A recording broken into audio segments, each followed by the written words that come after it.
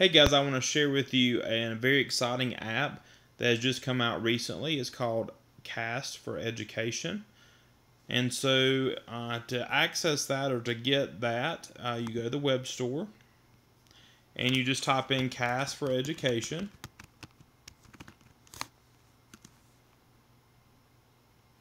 And then it is an app, so uh, you just click Add to Chrome. I've already added this myself so there's no need for me to add it. Now to access this, after you add it, is you can go to your apps. If you're on a Chromebook, it's uh, down in the lower left-hand corner. You click the magnifying glass, and then you choose All Apps. If you're on a desktop like I am, I'm going to click Apps in my Chrome browser. And if that is not showing up for you, then just then you just go to Chrome colon backslash backslash apps and that will show up your apps. I'm going to click on my pages here. So I'm going to find Cast for Education. Right there it is. So I'm going to click on it. And it will open up for me. And it will open up for me like this. Now I've already set mine up. So I'm going to show you what it should look like for you. So this is what will pop up the settings box. It is going to ask for a receiver name.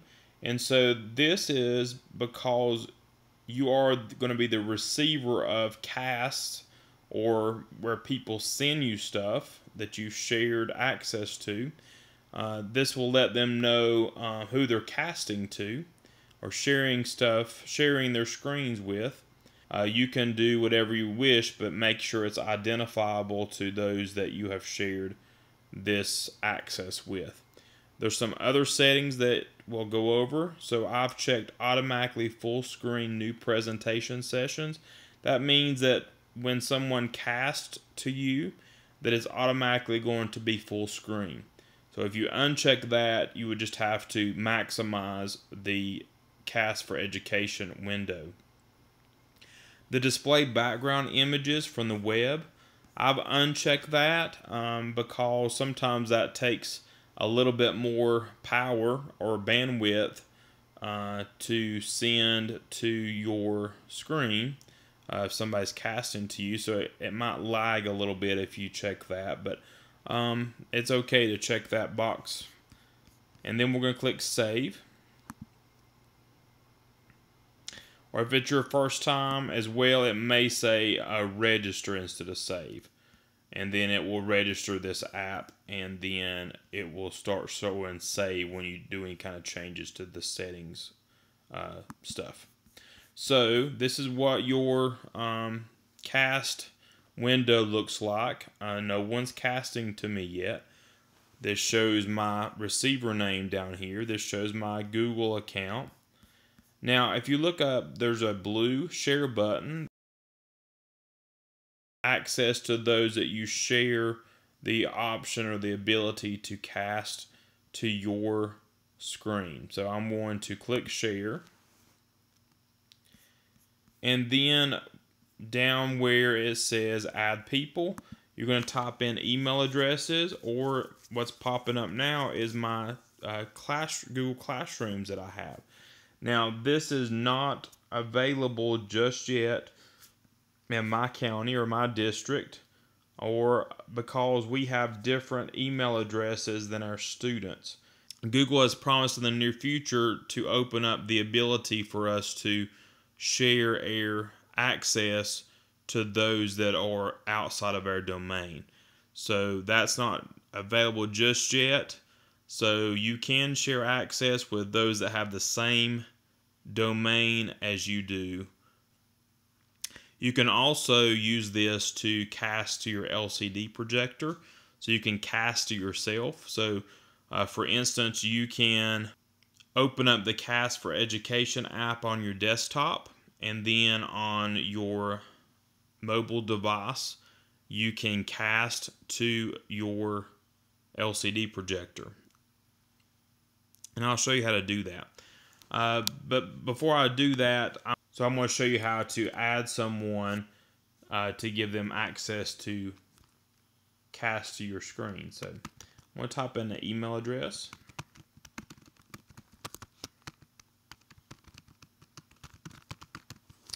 And then you have some options here. So you can allow this person to request the ability to cast to you, or they can automatically, when they do cast, it automatically presents if you have this window open. So I'm going to just do can request. That means it's going to notify you that someone's trying to cast to you.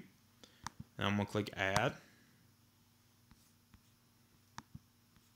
So it did give this user access to cast to my device. Then I'm going to click save. So as long as you have this cast window open, that means that anybody that you've shared access with will be able to cast to you. So I'm going to demonstrate this. So what a person that's trying to cast you will do is click on their cast icon, which is an extension. When you click on that, it's going to show who is receiving cast that you have access to cast to. Uh, so you're going to find the person you want to cast to. If it's yourself, then you can choose yourself, which that's what I want to do. You also, if you click the cast to button, then you can share your tab or you can share your desktop. Which, if you cast your desktop, that includes everything that's on your desktop. And if you cast a tab, it's just casting one tab in your browser. So I'm going to cast my desktop and I'm going to show you what that looks like. So I'm using a Chromebook.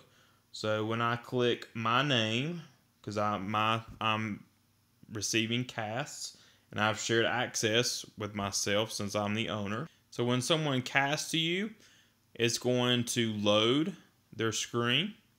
So you can see my cursor is live. So I'm on the Chromebook and I'm casting at this moment.